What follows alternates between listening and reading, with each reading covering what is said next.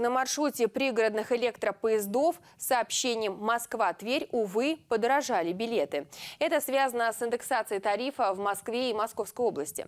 В среднем жители Твери, Конакова и других городов Тверской области при поездке в Москву и Московскую область будут платить на 10% больше. Теперь стоимость разового проезда в «Ласточке» из Твери в Москву, равно как и из Москвы в Тверь, составит 715 рублей.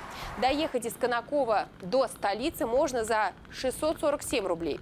Если доехать из Москвы в Тверь или из Твери в Москву, на обычной электричке стоимость составит 538 рублей в один конец. Из Москвы в Конаково или из Конакова в Москву 452 рубля.